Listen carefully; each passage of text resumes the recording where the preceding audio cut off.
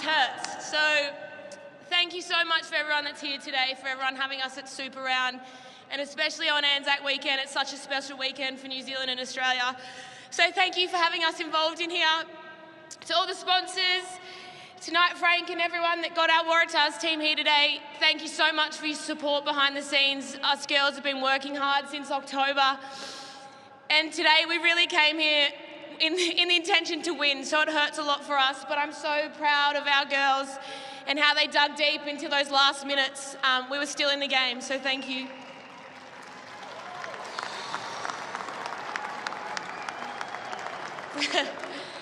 um, to our staff, our coaching staff, to all the players that are going to be here next year and leaving this year, we're so proud of you for a group of women that is fight so hard for women's rugby in Australia. And it's a testament to your attitude and, and how much you want to grow the game in New South Wales and around the country, the effort you showed today. So, congratulations to those girls. Um, to all the fans out here for us and for Fiji, um, thank you for being out here. It's so nice to see so much support around the game. Um, and to Fijiana, you are unreal today.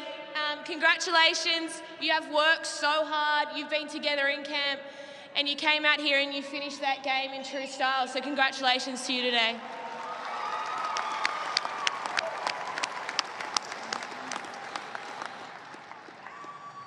I've probably forgotten a thousand people, but I just want to say how proud I am to be a Waratah.